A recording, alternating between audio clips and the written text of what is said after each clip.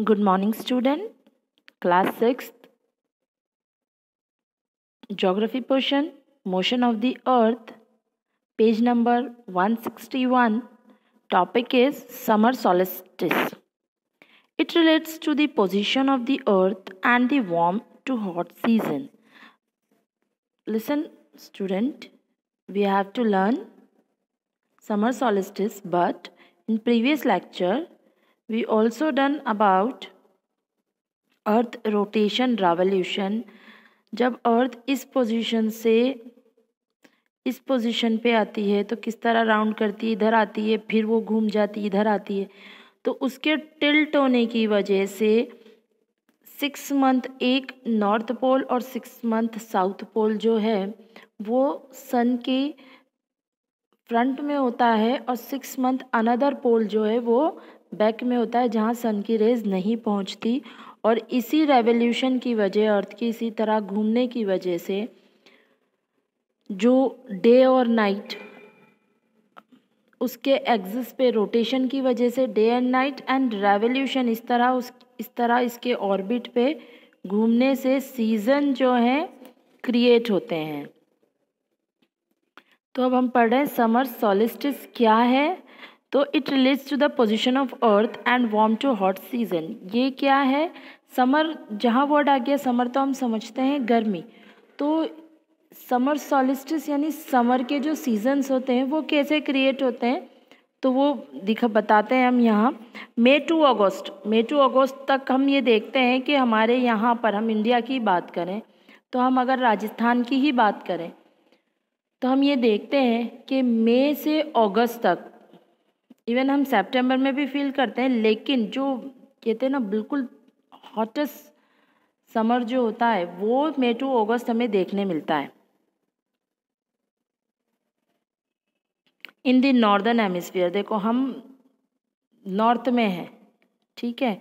तो northern hemisphere में जितने भी स्टेट आते हैं हाफ़ पोर्शन में, जो हम ये देखते हैं, ये देखिए आप। ये ये वाला पोजीशन देखिए आप।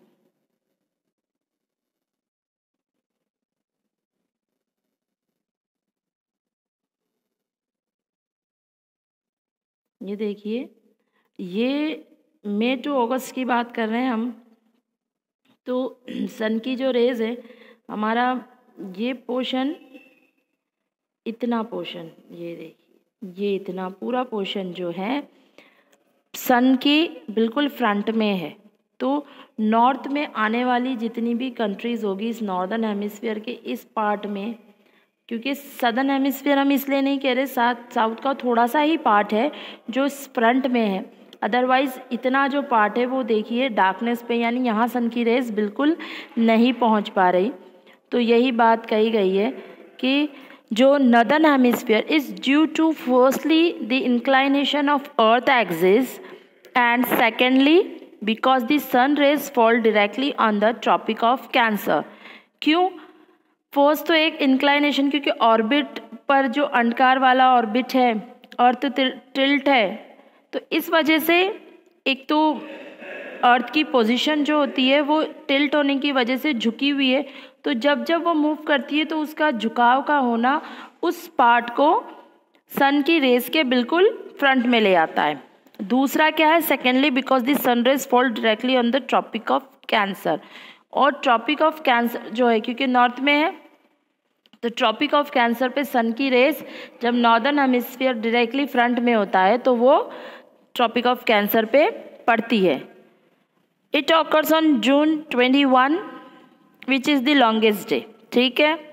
जून ट्वेंटी वन पे सबसे लॉन्गेस्ट डे होता है क्योंकि वो ट्रॉपिक ऑफ़ कैंसर बिल्कुल फ्रंट में आ जाता है। The region between the arctic circle and north pole receive sunlight twenty four hours a day and for a few months the sun never set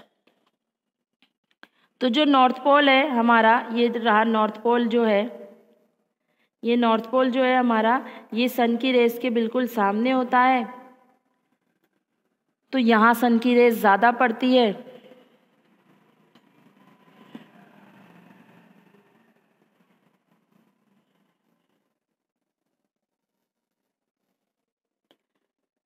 The region between the arctic circle and north pole जो arctic circle है और north pole है।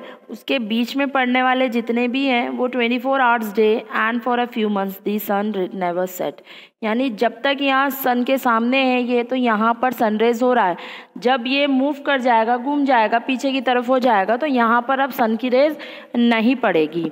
On June 21 the northern half of the earth is inclined towards the sun and southern half is away from it 21 June को north का जो half portion है northern half of the earth earth का जो half portion है, क्योंकि half portion इसलिए कहा गया क्योंकि देखिए,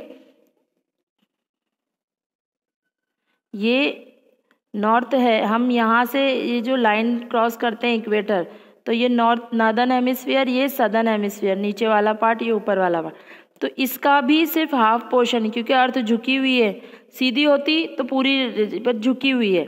तो इस वजह से नदन हेमिस्फीयर का भी बस इतना ही पोर्शन जो है, ये पूरा, ये सनरेज के सामने है। तो यही बात कही जा रही है कि on on June 21 northern half of the earth is incline toward the sun and southern half is away from it बाकी का जो सदर्न हाफ़ है वो दूर होता है। In simple words more of the northern hemisphere is expose to the sun as compare to the southern hemisphere इसका मतलब है नॉर्थ, नॉर्दर्न हेमिस्फीयर पूरी तरह सन के सामने होता है सदर्न हेमिस्फीयर सन से दूर की तरफ़ होता है। The day are longer and night are shorter in the north the equator equator के ऊपर की तरफ़, क्योंकि सन रेज सीधा है तो यहाँ पर क्या होगा? डेज़ लॉन्ग होंगे और नाइट शॉर्ट होगी, क्योंकि समर में हम यही देखते हैं।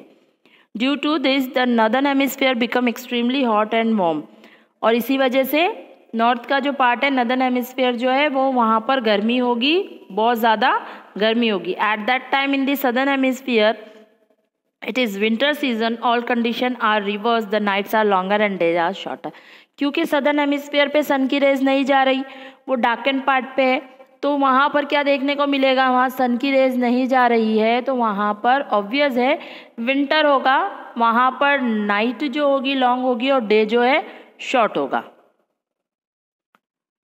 ये हमने कल देख ही ली थी पिक किस तरह सन की रेस जाती है?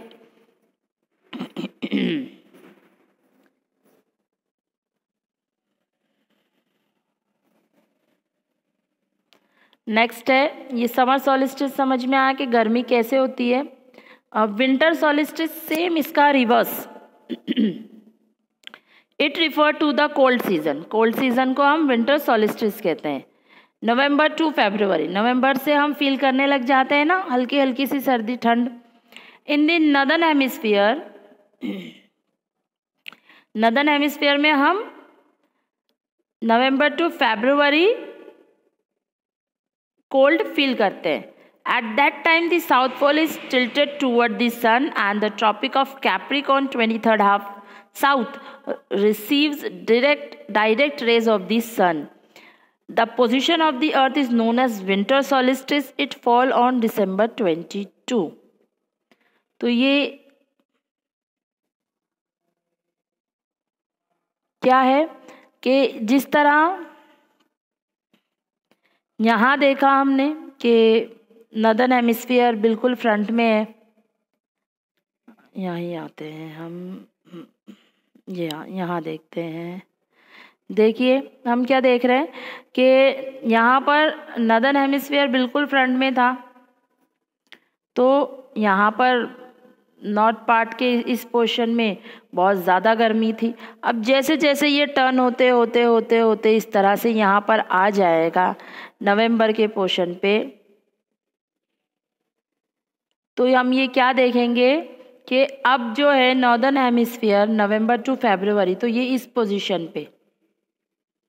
ये इस पोजीशन पे क्या देख रहे हैं हम? अब ये घूमते अर्थ जब घूम रही है तो घूमते घूमते राउंड राउंड करते करते जब वो इस इस तरह से घूमती है तो अब ये साउथ वाला पार्ट देखिए आप। साउथ का जो पार्ट है, वो पूरा यहाँ पर क्या हुआ है? अब ये सन की रेस यहाँ डायरेक्टली पड़ रही है। नॉर्थ क्योंकि अर्थ टिल्ट है, ये झुकी हुई है तो अब नॉर्थ पोजीशन का जो इतना पार्ट है वो, अब डाकन से वहाँ सन की रेस इतनी नहीं पहुँच रही, बिल्कुल हल्की हल्की पहुँची तो अब यहाँ विंटर होगा, यहाँ समर होगा अंडरस्टैंड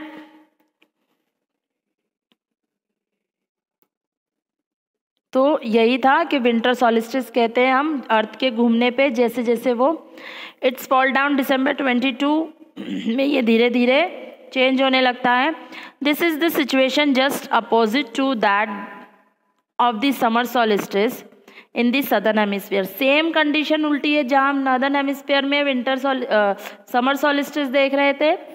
ऐसे ही सेम अब हम विंटर सोलिस्टिस कहाँ देख रहे हैं? नॉर्थ में। तो साउथ में, यानी सदर्न हेमिस्फीयर में क्या होगा? समर सॉलिस्टिस यानी नदर्न एंड सदर्न हेमिस्फीयर में दोनों ही जगह पर एक टाइम ठंड और एक टाइम गर्मी देखने मिलती है।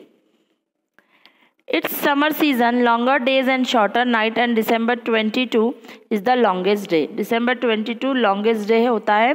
क्यों? Places between antarctic and south pole experience twenty four hours daylight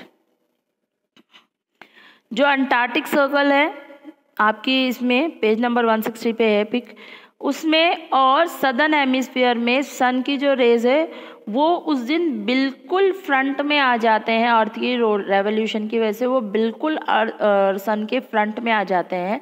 तो उनके फ्रंट की वजह से वहाँ उस दिन 22 दिसंबर के दिन सदर्न हेमिस्फीयर में सबसे लॉन्ग डे कहलाता है।